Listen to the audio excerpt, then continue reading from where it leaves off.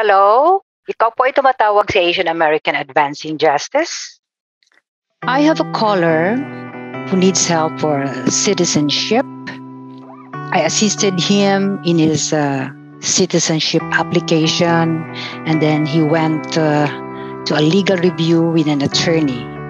So everything went uh, by. He mailed his application, had his biometrics, and then interview. And then he was scheduled for uh, oath taking. But now comes the pandemic. He was scheduled for the pandemic.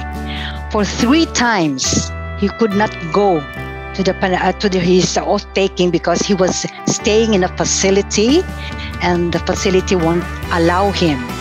So for three times that he missed his oath taking ceremony, so USCIS closed his case. So this uh, this applicant was so depressed because it was his dream to be a US citizen. So we reopened his case, and our lawyer uh, our lawyer uh, helped him. And finally, last March 10, he took his oath ceremony and became a U.S. citizen.